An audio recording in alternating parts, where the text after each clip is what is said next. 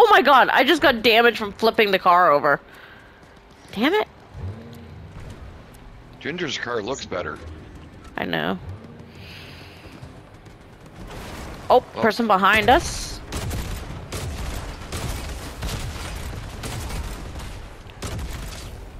Oh, uh-oh. Well, we're going to the island, apparently. Oh no, they just got the flag up. We gotta get out of here. Oh no, we're stuck in a cave. Uh-oh. Got us wedged in we're a cave. We're We jammed in a cave. Uh-oh. Can we go back? We're Nope. Oh god. Uh-oh. Wait, you got out. Oh, it let me out, it let me out. The car's still stuck there though.